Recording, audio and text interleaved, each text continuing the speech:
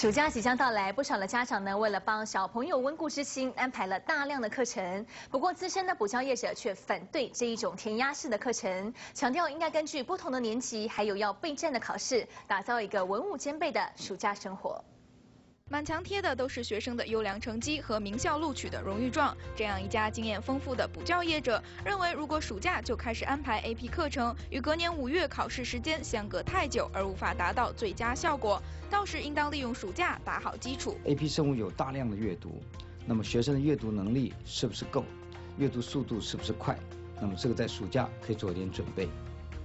其次呢，像 AP 物理跟 AP 微积分的关键就在数学。那么学生的这个数学基础是不是很坚实？那么也可以在暑假打好基础。除了打好 AP 基础，六七八年级学生的暑假正是发展课外活动、社区活动的黄金时间。而九年级以上的高年级学生可以到时代学院，让老师根据学生情况安排复习 SAT、ACT，以便九十月份就可以考试。如果是资优的学生，我们都会有特别的安排。我们不会。把它局限在一般的学生发展的范围啊，比方说，如果在我的 AP 课程上面学非常优秀学生。